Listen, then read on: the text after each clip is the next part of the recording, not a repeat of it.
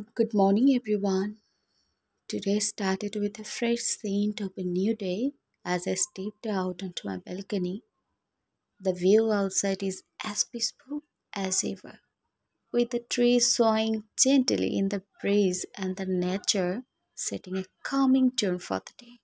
I heard from my mother. My mother said that if I wake up in the morning and look at the green trees, my eyesight will be good.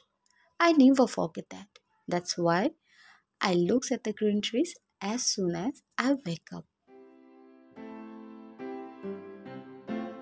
After soaking in the morning calmness, it's time to dive into my studies.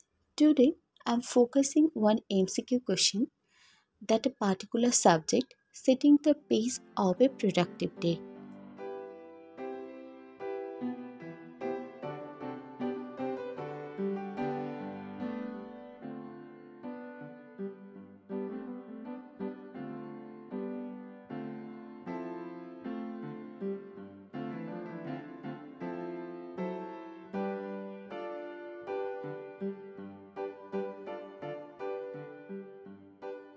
As you all know, I love to handle my household chores. So, midway through the morning, I decided to cook something special. There's nothing like a good meal to keep the energy up. So, I made some delicious meat and tikka kebabs. After savoring every bite, I took a short break to rest and recharge. It's important to balance work and relaxation.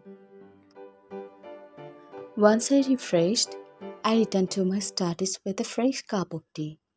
The afternoon was all about diving deeper into my work. I also took some time to write down my thoughts. Writing helps me organize my ideas and stay focused.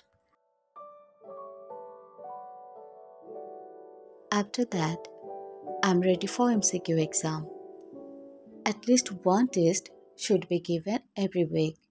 This shows how much preparation I can take and how much lackings I have.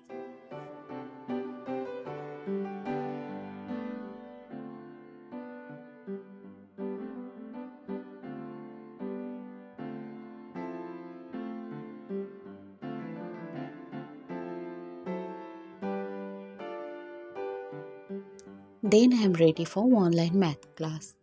I found maths very boring from the beginning, but now I enjoy practicing it. That's why I don't skip a single day from doing math practice. To wrap up the day, I decided to treat myself to dinner out. There's something comforting about a good burger and a cool coffee after a long day.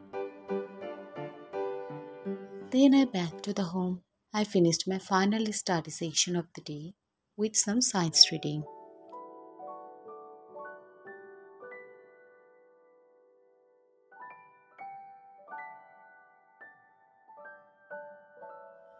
And as the day comes to the end, I find myself back to the balcony, soaking in the quiet of the night, and now ending the day on a peaceful note. Thank you all for joining me. Until next time, stay focused.